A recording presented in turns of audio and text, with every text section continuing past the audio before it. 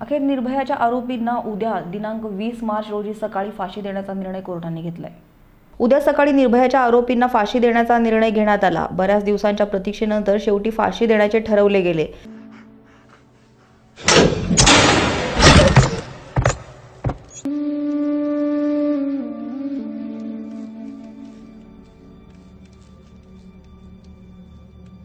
मागील काही दिवसापूर्वी एका आरोपीने राष्ट्रपतीकडे दया याचिका दाखल केली होती पण तरीही राष्ट्रपतीद्वारा ती फेटाळण्यात आली. शेवटी वीस मार्च ही तारीख शेवटची असा निर्णय घेण्यात आला.